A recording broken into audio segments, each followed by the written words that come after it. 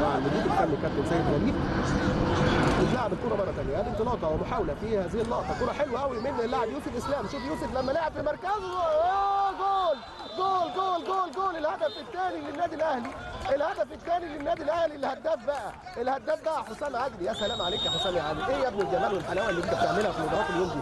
حسام عادل بيسجل الهدف الثاني وشوف يوسف إسلام لما لعب في آه، المركز بتاعه بقى في وسط الملعب. عمل assist رائع جدا لحسام عادل اللي سجل الهدف الثاني للنادي الأهلي في مباراة اليوم.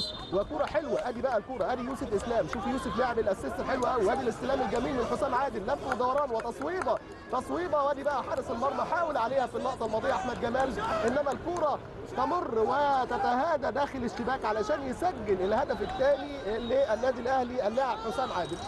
حسام عادل بيسجل الهدف الثاني للأهلي الأهلي اثنين الزمالك واحد. وادي امامنا ميشيل يانكون وطبعا مارسيل كولر وكابتن سيد عبد الحفيظ. حسام عادل وتألق كبير جدا.